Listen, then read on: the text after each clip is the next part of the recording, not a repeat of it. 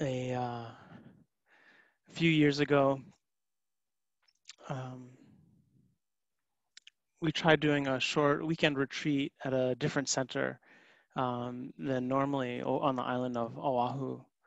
Um, and uh, there was a, a monk who'd befriended, you know, our, our sangha, and he was part of a, a community out there of some monks and nuns and lay people that were had bought some land and were trying to build a monastery and had invited us to come do um, some programming out there and do a retreat. And so we were sort of we're always looking for different different places and different opportunities and different kind of communities um, to see what might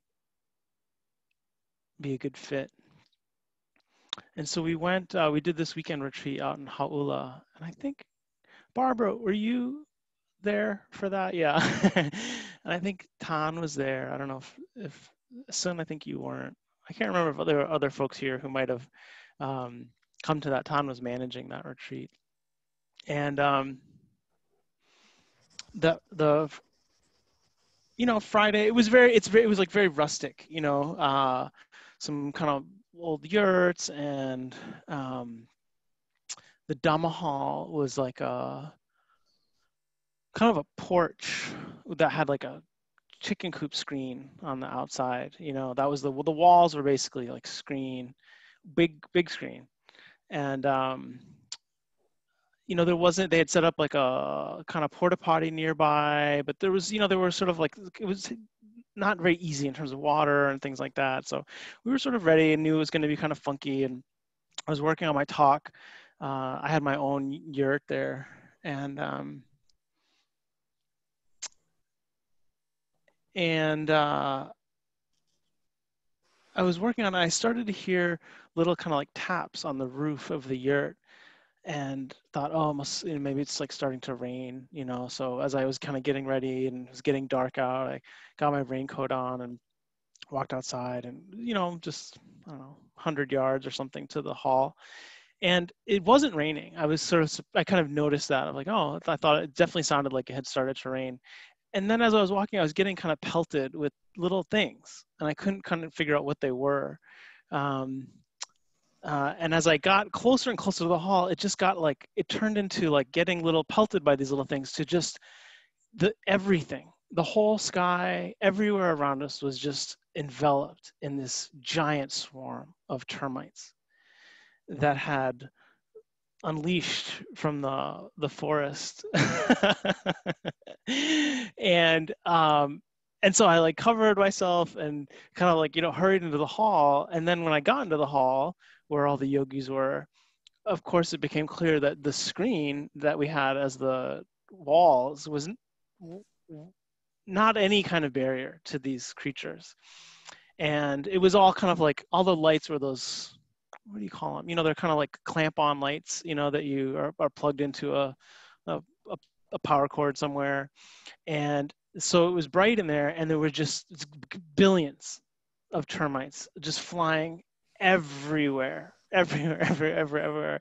And so we walk in, and, and everyone's trying trying to figure out what to do. It's like covering themselves, and finally we're like, we have to turn off the lights. There's like it's obviously drawing them, you know. And so we we turn off all the lights. It's pitch black, and are all covered in termites. The, the, the air is swarming with them. They're crawling all over all of us, like in our shirts, in everything. Um, and so I, I had a shawl, and you're just everyone's just like covered, and and I had to give the opening talk uh, in the dark. Uh, covered my you know my whole face everything covered and everybody covered um, covered in termites and uh, I don't even think we could do the precepts that night. It was just like, okay, well, and I gave the talk, and you know, we, we opened the retreat, and basically people tried to kind of make it back to. Some people were staying in that building, you know, and their whole rooms were filled with termites. Other people had to, you know, go to their other places they were sleeping, and I can't remember what the deal was in some of these places, how how clean or not they were from termites. But it was like it was incredibly dramatic you know just just like biblical it felt this sense of you couldn't talk without these bugs you know and um and then the next day, most of them had died, right? Um, the, so there was just a carpet of dead termites everywhere and over the the whole Dhamma hall and people's sleeping areas and their cushions. Oh, it was crazy, and and and certainly the sense that this was going to happen again the coming night. You know what i mean? Like it wasn't like a once in a 20 year thing. Like this was this was what nights were like in Hau'ula or something.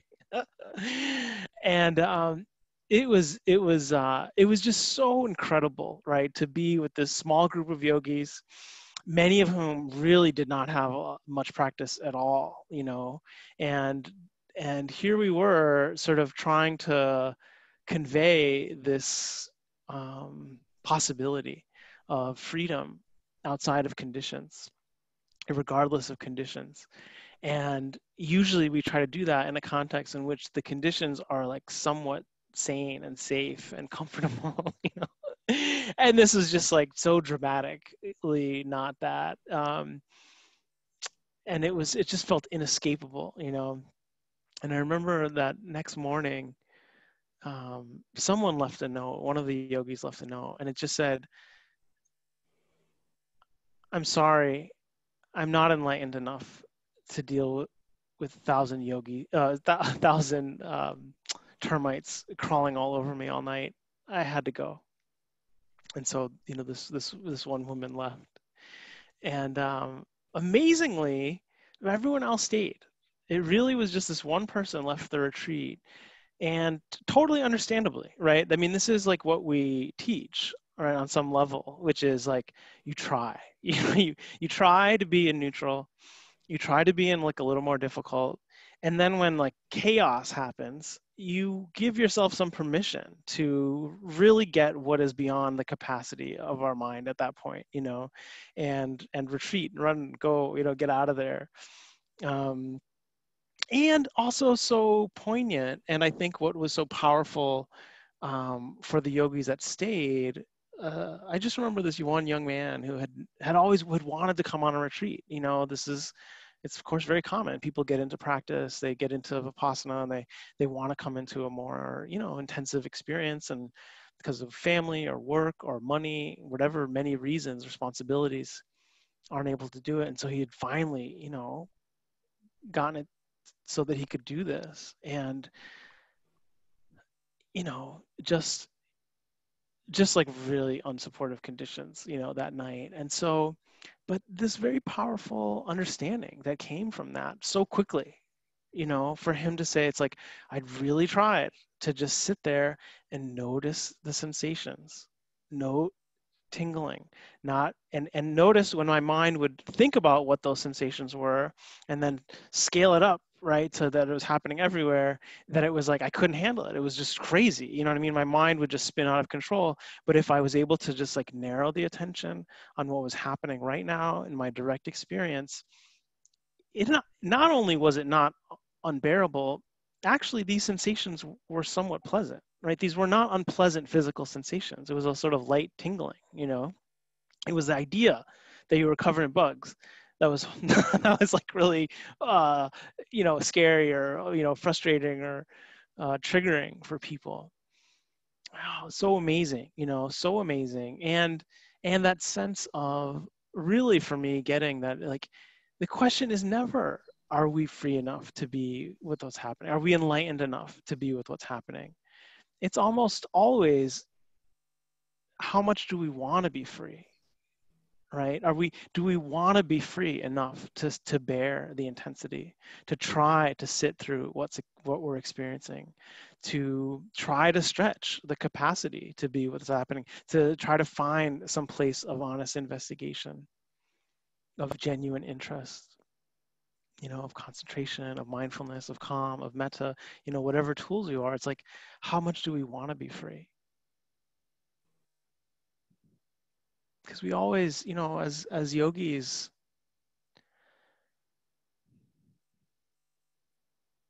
kind of like we've been saying, you know, it, it's rare that we feel always the sense of progress, right? That we're more and more capable and more and more enlightened and more and more awake. Uh, I think part of the nature of the understanding is like the more free we become, the more sensitive we are to the places where we're not free. Right? The more the more we notice how entangled we are, how hooked we are, um, how where our where our difficult corners of of being of, of the mind of experience are and so this this process of um,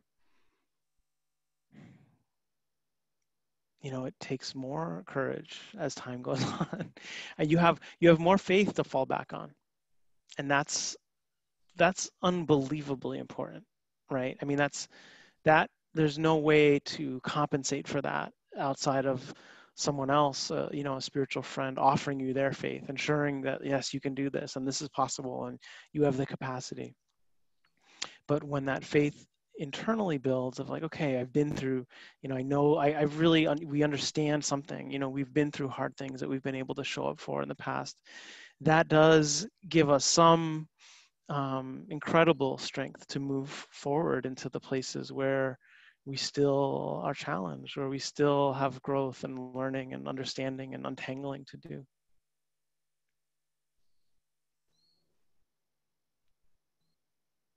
And it was, you know, really amazing to see everyone just show up for that. Everyone got together and swept, and we did an extra little cleaning period, and and it was held in the context of this place where it's like the people were just beautiful you know the other monks that were there were just like so generous and so wonderful you know uh you know they spent the rest of the next day setting up this like complicated light setup outdoors so that if they did come back that night at least the bugs would be drawn to the lights outside but we'd still have light inside you know and um the people from the community. It was mostly uh, community from Laos out there who were doing the food and the cooking and, um, you know, under very kind of rugged conditions, you know, outdoor kitchen and making like just beautiful food and accommodating people's needs. And um, it was held in this container of generosity and goodness and carefulness that we see, you know, over and over again in our spiritual lives, how it's you know the mindfulness you know that's that's like the our deepest security right? But outside of that we're held we can be held by these broader conditions you know and and how powerful they are you know to really receive the generosity that might be supporting us receive the commitment to ethical precepts of from our, ourselves or for others that you know we've taken during a period of intensive practice. Or that the people who take care of a space are committed to.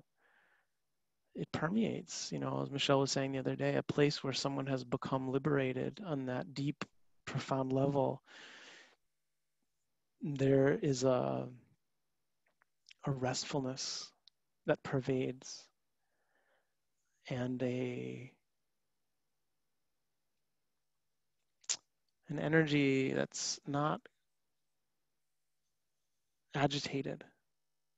It's like a like profound and relaxed that you can soak up. You know, you can you can abide in that. You can be nourished by that, right? This the truth of the impersonal the, how impersonal liberation is and how impersonal suffering is becomes uh, noticeable in these spaces where the fruits of someone's awakening can be enjoyed by all. And so we, you know, we made it through that day and people were, you know, practicing and um, that morning, you know, and then, um, then it was amazing. Around two o'clock, you know, it's like I feel like we had sort of recovered sort of found some stability from just like the wildness of that. And at two o'clock, I think I offered a, a little metta practice.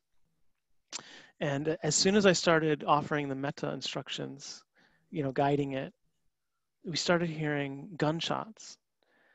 Um, it's sort of in the next part of the valley. And it grew and grew and grew and grew.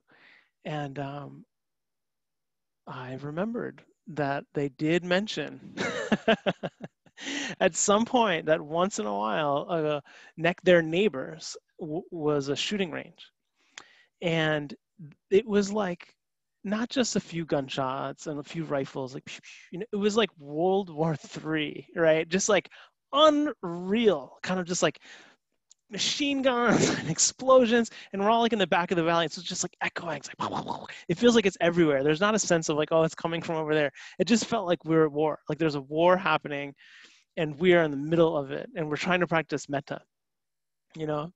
And um you know it was ridiculous. It was like perfect like perfectly ridiculous perfectly impossible and um and it's like we just did it you know the yogis did it we went through another day because it was like the apparently the the, the the bugs did not come back that night thankfully. The guns did come back the next day um but not till i think we were sort of wrapping up anyhow.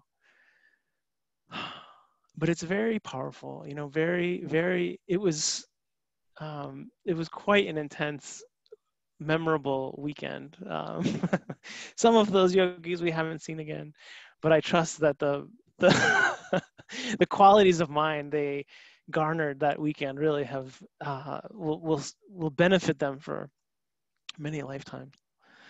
Um,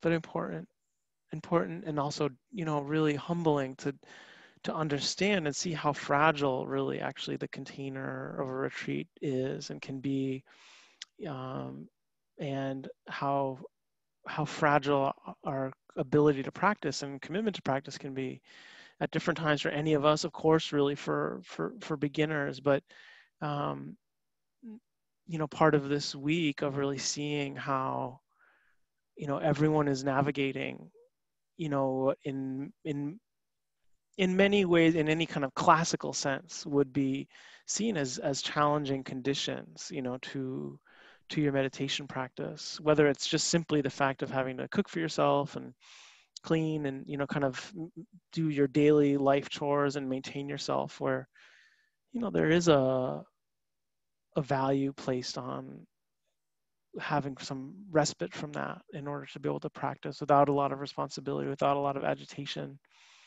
um, but then beyond that, you know, if people are in the areas where there's smoke and fires, or you know, there's a whole range, right? Of, of, of you can imagine the, you know, 70 people that are here right now, of just like the the totally different conditions that people have encountered over our time together, and how on one hand that's not optimal, and it's like painful and it's poignant to know that we can't be in person with one another, and on the other hand that there's like a um, valuing of of of those challenges right? Of like wow there's there's a strengthening and many everyone or many people have spoken of like wow the the feeling of how it feels integrated of how we have a sense you can go from like very super quiet in your practice to having to go outward and attend to things in a way that would maybe be normally more disruptive than it has been engage those things, feel whatever the intensity and kind of, you know, how evocative they might be,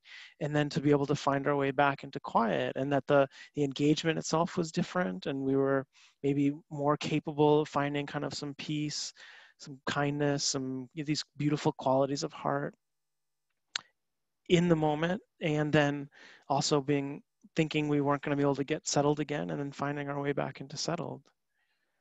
And you know there's a very powerful faith that can develop in that right? A, a sense of um, yeah the conditionlessness of the capa- of peace right? That that we have that capacity um, to find our way back into this quietude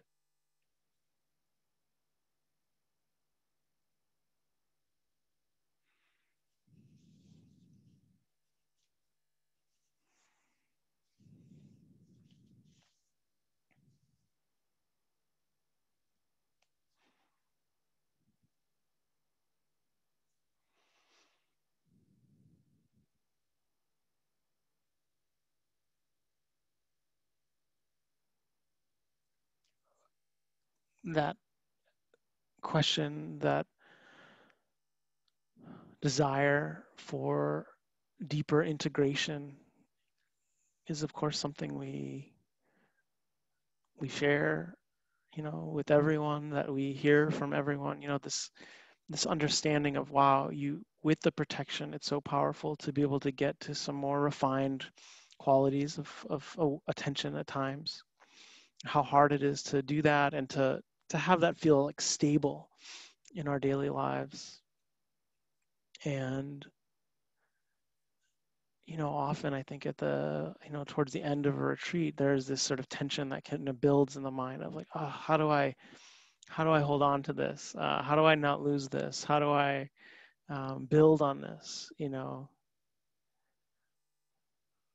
Which of course you either like we have to have some humor with right? That's that sense of holding on and not wanting to lose. And you know that that that that tension that contraction is actually exactly the part of the of the of the dynamic of our of, of of our suffering of how we lose it right is the fear of losing it and not recognizing oh it's just wanting. Oh it's just fear.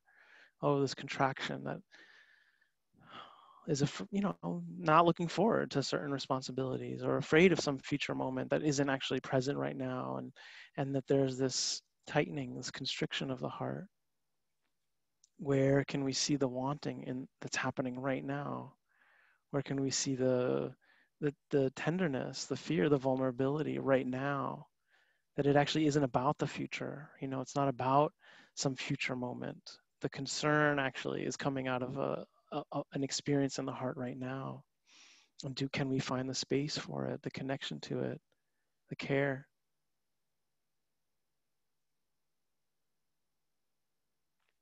it's amazing when we start to believe in the objects again. It's like, oh, we've been training to not buy into certain thought patterns, and then suddenly certain thoughts are like, well, that's true. Like that, this is coming in two days, and this is going to happen, and and then that feels so much more concrete, you know, and we believe those things.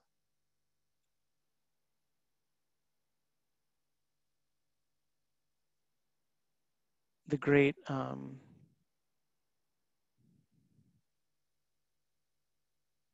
Ghanaian um, anti-colonial thinker, organizer.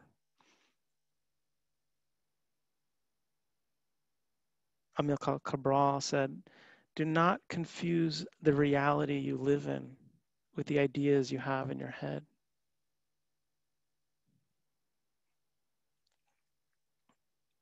And I think there's something very important about that in terms of ourselves as yogis and ourselves as yogis going out into the world and how do we stay connected to the various aspects of reality the various levels of reality the various relationships to what we think of as real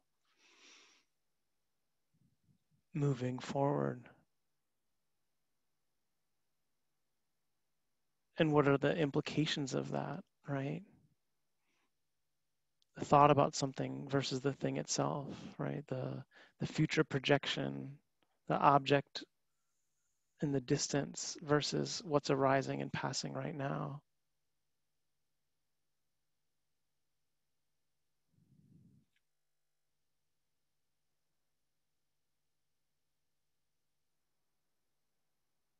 How do we integrate these these lessons, these teachings into as we start to move into the world and engage more you know with with people with work with responsibilities with action you know that that has impact outside of ourselves. There's one one way of looking at the world around history that sort of sees sees the sort of movement of history and the, the movement of action in society um, in a way that's it's called like you know dialectical. It's dialectic. And it has you know we talk about dualism in this tradition and in many spiritual traditions the sense of trying to get out of a kind of dualistic nature of black and white right and wrong uh, you and i right? These sort of separations that that's sort of natural inclination of humans of beings in the world. And and that we understand that there's something deeper than that right? There's a, there's another perspective on things that isn't just dualistic and and this idea that it's like in these dualisms is how the sort of movement of of of action you know in history happens right where you know one one party wins the people you know that that every action creates its own contradiction basically, right? That it's like this party wins, this party gets upset, they organize and they beat out this party the next time. And then those people get upset and they beat out this party the next time. Or, um, uh, you know, this things are society oriented in the way now that creates wealth, also creates poverty, right? That that there's this this way of a kind of like dialectical um, aspect of how interactions unfold, how society unfolds, and how society keeps getting perpetuated in the ways that we see it getting perpetuated, right? This kind of constant conflict and, and tension and um, contradictions that keep kind of trying to negate each other and fight against each other and um, try to come out on top. And that we operate in many of those same ways, but that as yogis, we're really trying to, to find a different way to engage, even in our own practice, right? It's like if we were in this retreat at Hau'ula and these bugs came, you know, there's the there's the sort of dialectical response of like, oh, the bugs come, we swat them back. More bugs come, we build windows. Or, you know, we raise money to buy the people's land next door. We or we call the police on those people, and then those police people hate us and you know like this sort of sense of like oh you can relate to all this unpleasant sensation in a way that creates like more and more tension more and more conflict more and more samsara right? And that we're training to just be like okay no we're we're trying to kind of withdraw from that internally. Understand that actually through observation through tenderness through kindness that there's an untangling and unbinding uh, of release that really is um, a very different way of being. And that unbinds the internal kind of process dialectical process of becoming also because we are involved like the inner process of be, of being has a similar flavor you know this sense of um or we feel insecure and so we grab onto something pleasant that stability there dissipates. And so there's a sense of anxiety around that. The anxiety creates fear, or fear creates the unpleasant. There's like this sort of like bouncing back and forth between the heart's response to one thing, creating its own contradiction, right? The security we seek through grasping actually creates our own instability, right? The strength that we create through anger actually creates our own fear and so that that is the process that we go through and that that pinging around back and forth is is the process of our lives. The the waveform that gets created in that pinging is the sense of self right? The sense of me. This tension right? And in, in many ways all that's all the sense of self is is the tension that gets formed through this grasping and rejecting of objects that are out of our control in in our response to the instability of things. And so this sense of like oh we just you know we feel tense we feel anxious we don't want to feel that we want to feel pleasant we want to feel happy we want to feel and it's like we don't see the way maybe that that is just buying into the same process, right? It's buying into this polarity of not wanting this, wanting this. And like, of course we want to be free. of course we want to be liberated from from suffering, but we have to accept that as paradoxical rather than contradictory, right? That it isn't like we're looking for the opposite experience because every time we look for the opposite experience, or try to overwhelm the experience with what we think of as the opposite, we're actually recreating this dialectical process internally of ourselves, of, of reestablishing this tension. And it's amazing the degree to which we can use our own spiritual practice to do that. and to really how hard it can be to understand that love is actually not in opposition to hatred. Wisdom is not in opposition to ignorance. And, and, and that is uh, a very different orientation that we've been basically trying to teach all week, right? The sense of the,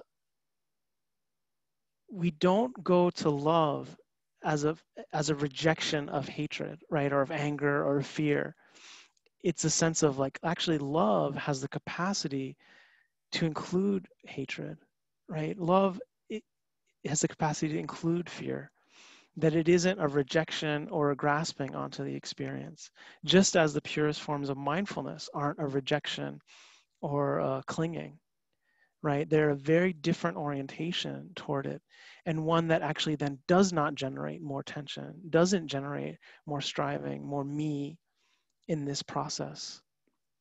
But it's very, it's a very difficult orientation to um, internalize, right? Partly because we've been taught that way and trained that way in so many ways that it's like, oh no, you fight this with this, and this comes and you you get rid of it through doing this other opposite thing. But what we start to see, it's like the more we try to do that, the more we re-entangle ourselves, and that this process is actually quite different right? This process of rather than creating more conflict and contradiction and con- confrontation, that there's a, a disentangling, an acceptance, an inclusivity, a sense that nothing need be outside of our capacity to care. Nothing need be outside of our capacity to be at peace. And that leads actually to the opposite experience, right? Of the disintegration of this contraction of selfhood the disintegration of me mine of the of the of the contractions around experience around the future around the past around whatever might be elsewhere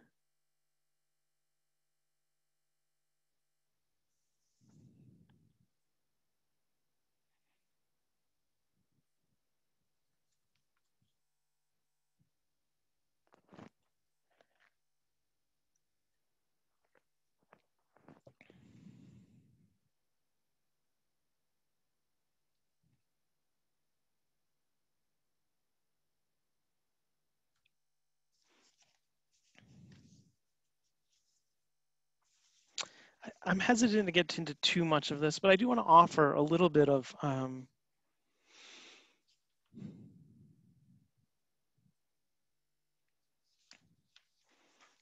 of how the a few different ways that the Buddha spoke about this process of building more tension and conflict and the release from it.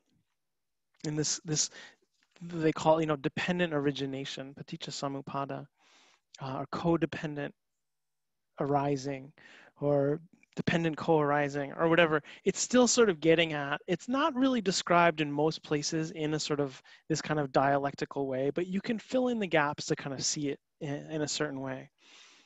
You know what what is the condition for birth? Uh, what is the condition for old age and death? The buddha asks. Birth is a condition for old age and death What is the condition for birth? Becoming is the condition for birth.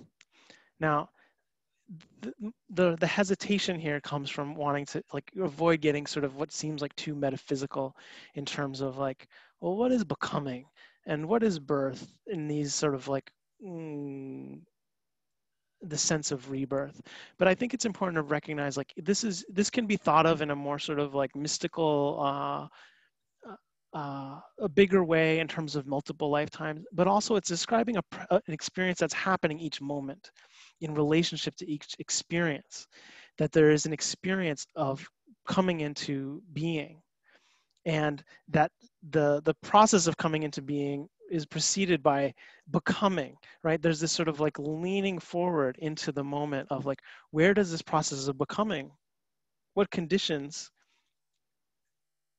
what is the specific condition for for for becoming grasping is a condition for becoming is there a specific condition for grasping craving is a condition for grasping What's a condition for craving? Feeling tone is a condition for craving.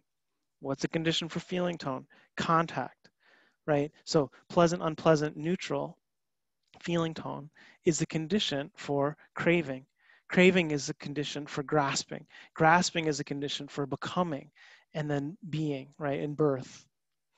And what is the condition for pleasant, unpleasant, neutral to arise? Well, contact at the sixth sense source.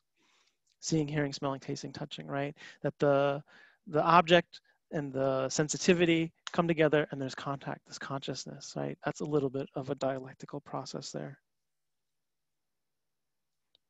So this idea that this is like happening every moment, every moment. There's this, um, every moment that isn't seen clearly, this process is unfolding. But the more we can see it clearly, the more we see contact, contact, seeing, hearing, smelling, thinking, thinking, thinking, sight, sight, sight, smell, smell, smell. This is why we're trying to refine the attention to be that clear and that precise. Then when it's seen clearly, and it's seen as insubstantial, it's seen as only coming into existence because of conditions, and it immediately fades away, then all those other chain of events don't happen, right?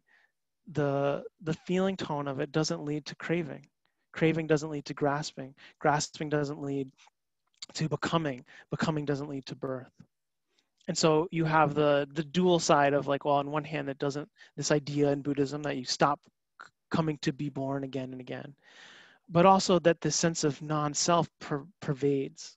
There's no there it, when this is fully uprooted, when things are seen so clearly that there's no more belief in satisfaction is going to come from any experience this unhooking, this unbinding, well, the sense of self stops arising, right? That doesn't mean we stop existing. It doesn't mean we stop engaging in the world, but we are unhooked or unleashed from the oppression of the tension that we experience as me, as mine.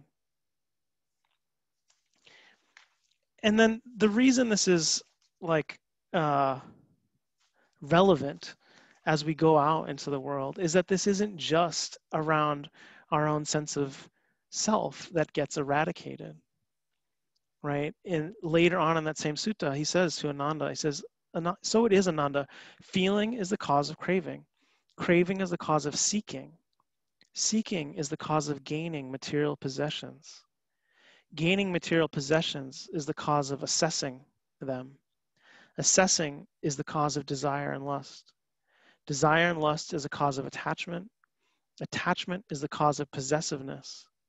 Possessiveness is a cause of stinginess. Stinginess is a cause of safeguarding. Owing to safeguarding, many bad, unskillful things come to be. The taking up of the rod and the sword, quarrels, arguments and fights, accusations, divisive speech, and lies. Suppose there were totally and utterly no safeguarding for anyone anywhere when there's no safeguarding at all, with the cessation of safeguarding, would those many bad, unskillful things ever come to be?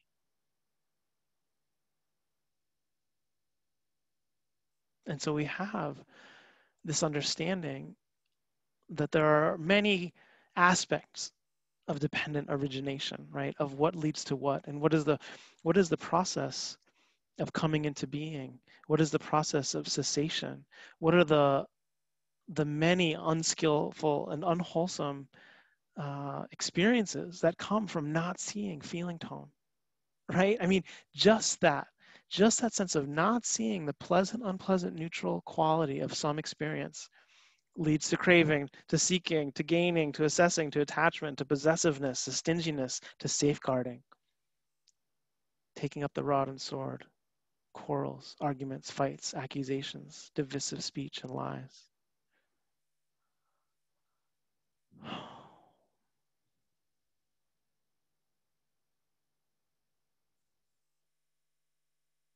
And so this sense of like the profound responsibility actually that we all carry for our actions, you know, and that that the the possibility of our actions becoming kinder, more generous, less constrained, less internally oppressive and less externally oppressive come into fruition, come into blossoming through this understanding, right? The cessation of ignorance through understanding, through seeing. And that when there is no, you know, in the in the Buddhist kind of in the Pali language, uh, all of these things are often talked about as the negative form. You know, non-hatred is considered metta, loving kindness, right? It's a, it's, it's the, the word is the non-hatred, but it means love, right? It has the positive notion, has a positive connotation. So this sense of non-stinginess, non-attachment has the implication of generosity, of goodness, right? Of of this naturally and unrestrained offering of our goodness in the world. And I think that there's, you know, again on self retreat, very, you know, it's one of these things where we would never say, oh, it's great to have to go and get groceries or go deal with something that you have to go to the doctor or go whatever, you know, that people have had to run errands this week. We'd always hope that someone could have the protection of you know being in the distant mountains somewhere and just being able to watch you know lifting moving placing and and it's like at the same time so many people have reported this sense of like wow going into the world is very intense. It's sort of disorienting. Everything's moving so quickly. A lot of tension builds up. But on the other hand there's moments of like real connection. You know amidst this wildness it's like oh i was able to really be kind or really patient with someone or someone was really kind to me and i really felt it and then was kind back to them and this this other dynamic arises because of in part our lack of um, reactivity or maybe not lack of reactivity but that because our reactivity of the heart is seen and cared for but not identified with, not bought into, you know, to any degree, then it arises and passes, and there's room for something else, right? There's room for um, something more beautiful to emerge.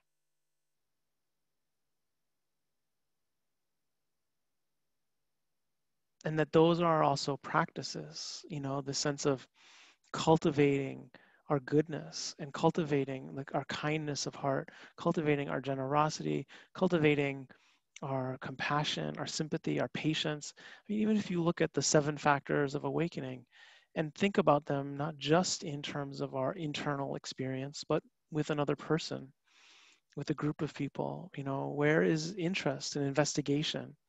When you are truly interested in someone and their opinion, their view, then it's like, oh, the energy builds. You know, where is the sort of deeper resonance and enthrallment that can kind of come from that? Where can that move into a space of calm, of concentration, of unification, and of peace? You know, how do we build peace within ourselves and how do we build peace with another person? I'm hesitant to say that they are the exact same process, but there are things to be learned from one to the other. There are definitely things to try and to practice and to, to see what are the ways that the lessons we learn about how to be with our own fear, how to be with our own anger, translate to how we might be with someone else who's very fearful or very angry, very deluded what is the appropriate response? Is there enough strength? Is there enough capacity and interest in that moment and energy to show up and try to connect and be interested? Is there not? Right. And we go back to this training of like, oh, when there's not, we move away. We understand we can't be in a skillful dynamic with someone at a certain time. Are we interested in someone just so they change? So that they come to see things as we see things? You know, is that how we want to relate to our own hearts? Right? Is that the training to just like, oh, be interested in the mind as long as it behaves how you want it to behave? Be interested in the body as long as it uh, ends up like you want it to you know that's that we of course we do that right? Of course we bring attention to the pain in some part of us conscious or not hoping that it will make it go away. And part this process is that purification of motivation of seeing that of seeing the pain of wanting. And that anytime the wanting is at play in our motivation in our action it's going to impact.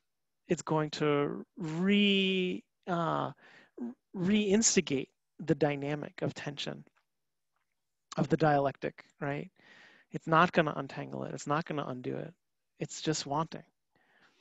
And this is profound you know it's profound. Even even you know the degree to it's like we want to be free and how beautiful that is and how important that is you know we all want to be free from hatred from the pain of it the toxicity in our hearts you know of of wanting of ignorance we want to be free but we also see that the prison is made of wanting and so where does that leave us? Right? It's like we the wanting might be pure and beautiful, but we can't use it to unhook ourselves. It won't work. It just rehooks. uh, and how many times we have to learn that and how much you know with other people uh, of course we have to go through this a lot as well give ourselves a break you know give ourselves a credit we, we think that by allowing by not getting into fights, by not arguing, uh, that somehow it means we've given up or don't care. And it's always so important to really question that, you know, question that assumption of like, oh, wh- why would we think that not arguing means we don't care? you know, or or actually like being patient and resting and being kind means we don't care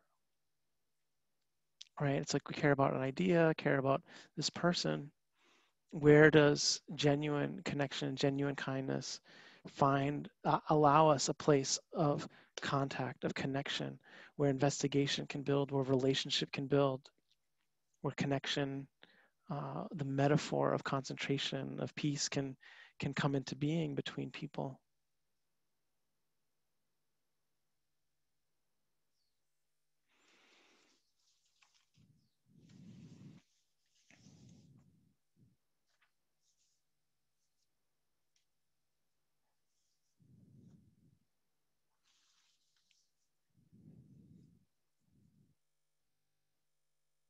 You know all of these all of these lists all of these practices are worth trying out in the world around us or in relationship to the world around us whether indirectly in terms of people uh, or in terms of just our responses to to the world around us.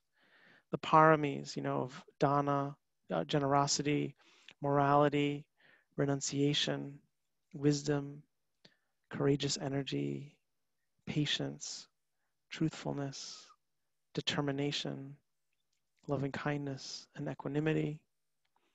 You know, obviously, I'm not going to go into a long thing about the paramis, but you can see like what a beautiful list that is, and how they all have aspects that are wholesome in terms of our internal life and, wholes- and wholesome in terms of our external life, and ones that are again liberating, not producing of more contraction, of more identification, of more um, tension and bitterness, but of more goodwill, generosity, understanding, honesty.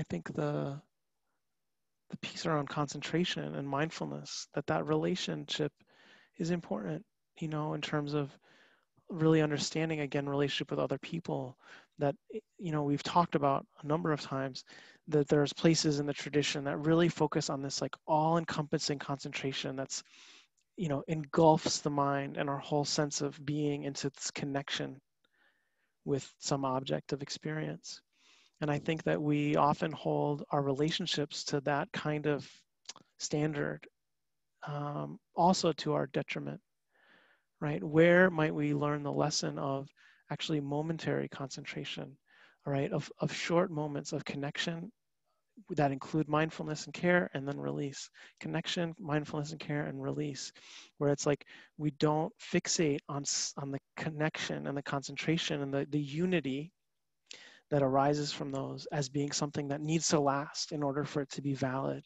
as if we're ever going to get quenched through a relationship lasting. Rather than the valuing of a moment of connection. Oh a moment of a connection, the moment of loss, a moment of connection, a moment of loss, that, that the heart learns wisdom in that and has perhaps a more reasonable expectation of relationship.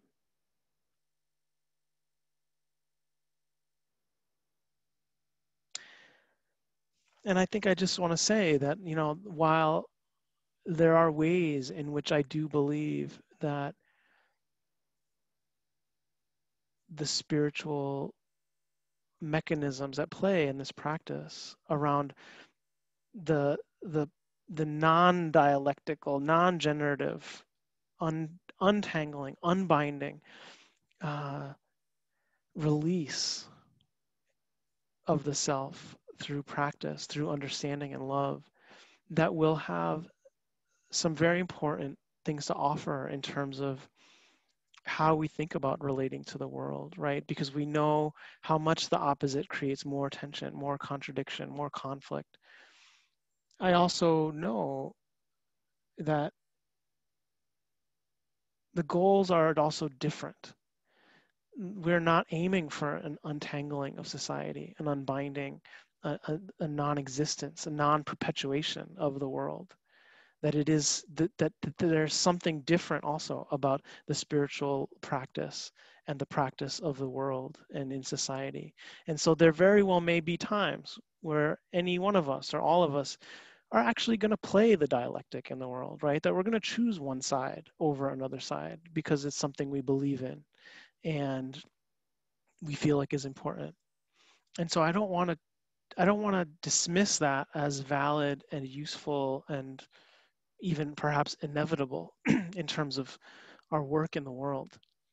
It's just that we would then expect different results, right? So that we're not surprised that when we engage in conflict in the world that feels meaningful, that feels important, that feels necessary, that that's going to create a countervailing response that that we're going to have to show up then for our karma, the results of our actions. And if we have generated that, then we show up for it. And we understand that we are the inheritors of our actions in that way, and that we make decisions around that.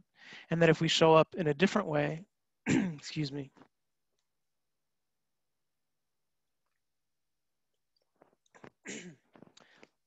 if we show up acting outside of the dialectical force with just love and just equanimity, that we will definitely protect our hearts and we will definitely create goodness, but we might not create any outcome in the world that is at all what we might want right? That that in doing that you also have to totally let go of the outcome of thinking that oh because you're kind and because you're generous that's therefore going to change somebody or change someone's behavior or change a dynamic. It's like you can't have it both ways. You're either playing the dialectic or you're not. And if you're playing you can be sh- you won't be surprised by the response. And if you're not playing, you shouldn't be resp- surprised by the response, right? So either way, to just know that it's like we're entering back into the world, you know, over the next couple days. Most of us, you know, some people might be able to stay quieter for longer to different degrees. But at some point, you know, we're all sort of in this process. And to just trust that it matters and that if there's learning along all of it there's learning around being just deciding that it's the ethics that you're going to commit to it's the kindness you're going to commit to and having that be the the framework but knowing what that means in terms of what we're letting go of. Or going out and having you know these qualities be our motivation and trying to change things and trying to be involved and knowing that that is going to involve some frustration and counter forces. Um, but that either way, we understand our own motivation, that we understand what is motivating our actions, and that we take responsibility for those and trust that there isn't, you know, there, we will uh, inherit the force that we put out and the more we can practice, the more we can watch that in every moment, right? Of seeing, like, oh, when I relate to this experience with this mind state, this is what happens. With the arising of this comes the arising of that. And, you know, when, when this is gone, oh, then this is gone. You know, with the cessation of this comes a cessation of that, right? This, this deepening understanding internally of the impact of the volitional force of our action in every single moment and how we inherit the immediately and at times down the line the results of those actions. Then we have all we need right? We have the tools we need to act to try our best to know that we will sometimes make mistakes and act outside of our deepest longing for ourselves, but to not be surprised, of course, when we bear the weight of the, the impact of those actions. This is, um, you know, the Dalai Lama is known to have said, you know, my religion is simple. My religion is kindness that's that side of the Brahma Viharas, right? Of loving kindness. It's like that pure. And then there's the other side, the equanimity side, where you can say, oh, my religion is simple. My religion is ownership of action. And both of those are true. And they're true together, and they're true apart. So let's just uh, sit for a minute.